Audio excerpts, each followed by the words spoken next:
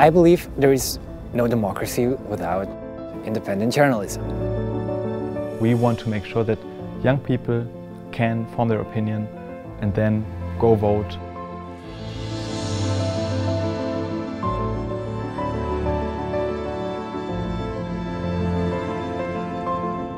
My name is Karolis Vyšniauskas. I'm a journalist and editor at Nara Collective here in Vilnius, Lithuania. Hello, Karolis. Labas, Lukas. My name is Lukas. I'm a journalist and the editorial lead of Enter, um, a pan-European media platform, and I'm based here in Berlin. As a journalist, you have a power to ask questions, to make your voice heard, and to make other people, especially politicians and those people who have more power than you, to hold them accountable.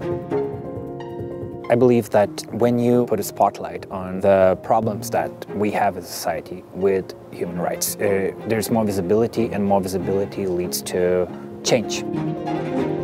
We have an absolute lack of independent journalism that's targeted at um, young people. The initial idea of this project has been to create an independent media for young Europeans that can ensure that young Europeans are informed and can take informed decisions. The European Union is overall a positive place for independent media because a lot of the values that are important for independent media, such as freedom of speech, um, democracy, are enshrined in the essence of the EU. In a country like Lithuania, it's important to understand the history when we talk about journalism today, because uh, during the years of the Soviet occupation, we had like five decades of government-controlled media. I think in Germany we're very fortunate when it comes to um, independent media. We do have laws that separate public um, service media from the state, but at the same time I do feel like the climate towards journalism is changing. So like the trust in especially public service media is declining.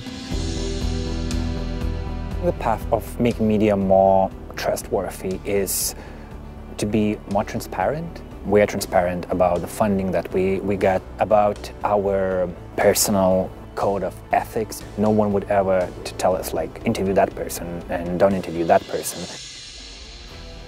One way to gain young people's trust specifically again is to meet them eye to eye. They are influenced by what they're seeing online and on social media. I think it's very important to be on social media and to have a space for young people where they can find reliable information and yeah, a real discourse with real people.